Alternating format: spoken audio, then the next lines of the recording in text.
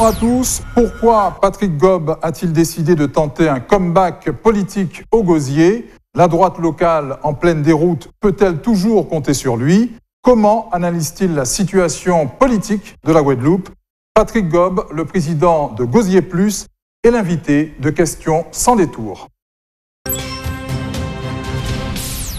Patrick Gob, bonjour. Bonjour, bonjour à tous. Merci d'avoir accepté notre invitation.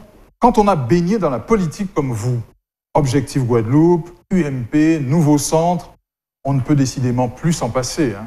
Euh, je ne pense pas qu'il faille parler en ces termes-là. Simplement, quand on a à l'esprit l'intérêt général, toutes les occasions sont bonnes pour pouvoir prêter à la fois de sa personne et de la volonté de bien faire. Donc, euh, toutes ces familles politiques, et il ne serait pas inintéressant de rajouter toute mon activité économique.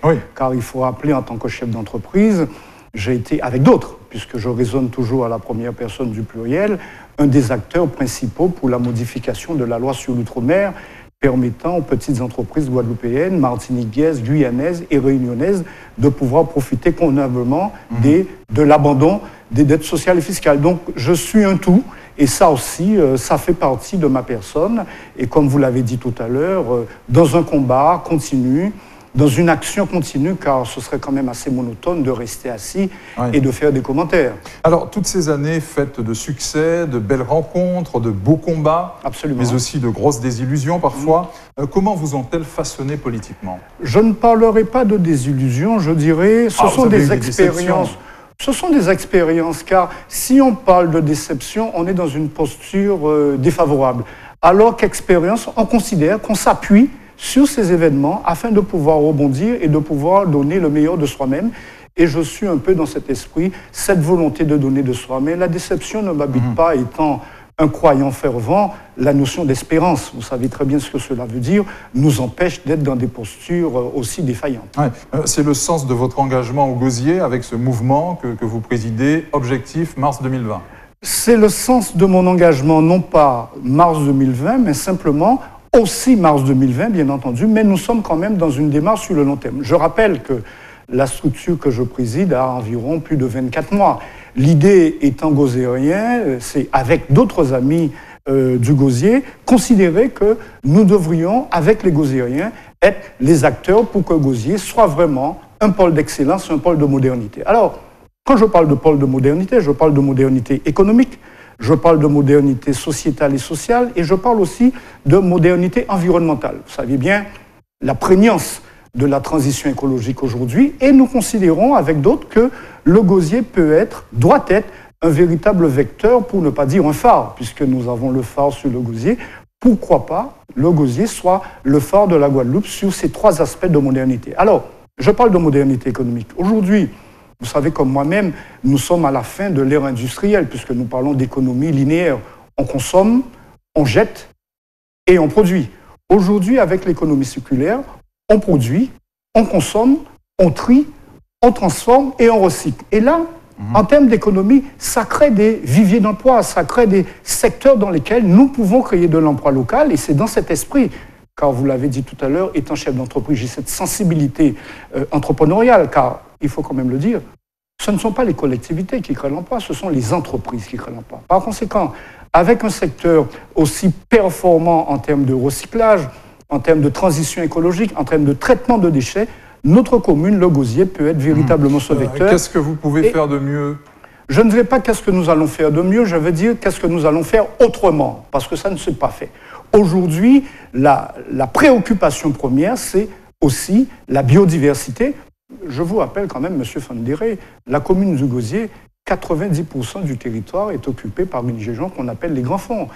La moitié du territoire du Gosier, 4500 hectares, donc 2500 hectares, ce sont des zones boisées. Par conséquent, c'est une commune qui a ce que j'appellerais une sorte de priorité environnementale, priorité de la nature, et il est important, aux côtés, par exemple, du développement touristique purement euh, euh, de, de, visite, nous pourrions créer un véritable tourisme vert. Et là aussi, nous allons mettre en avant les qualités de notre commune. Et vous le savez très certainement, c'est la commune où il y a le plus grand nombre de mares. Il y a plus de 150 mares au Gosier.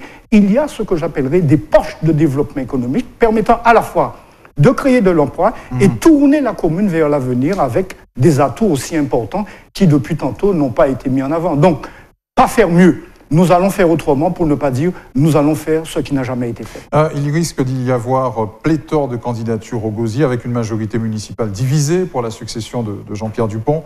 Euh, triste spectacle. Je ne dirais pas triste spectacle, je dirais un spectacle qui ne devrait pas avoir lieu si la majorité avait fonctionné comme nous, nous aurions souhaité. Je m'explique. Et c'est le cas aujourd'hui.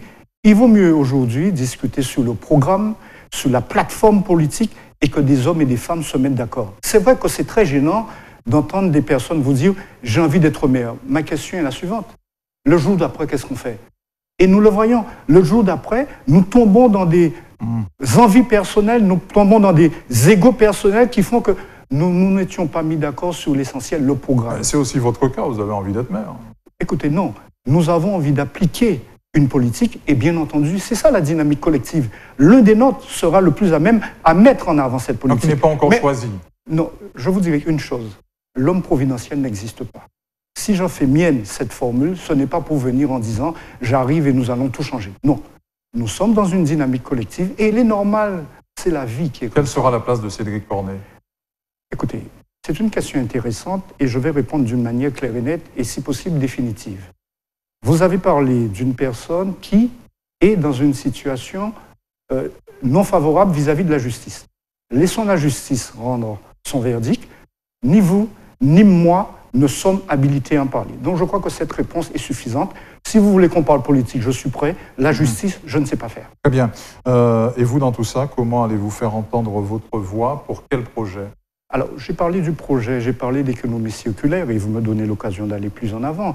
J'ai parlé aussi de développement économique au sens où nous nous tournons vers une démarche écologique, mais je parle aussi de proximité. Quand nous parlons de proximité, nous parlons par exemple, il faut requalifier la relation entre le bourg et les sections. Il est anormal. J'étais dernièrement à Moreau et je profite pour saluer Steve qui nous dit, mais vous savez, il n'y a pas de transport, de à l'intérieur de la commune. En sortant de Moreau, je ne peux pas aller dans le centre-ville. Donc pour nous, il y a des actions de proximité à mettre en place, en parlant de navettes par exemple. Il y a des actions de proximité à mettre en place en parlant de s'occuper des familles monoparentales. Il y a plus de 30 000 familles monoparentales au Gosier. Il est normal que nous pourrions créer ce qu'on appelle des crèches coopératives.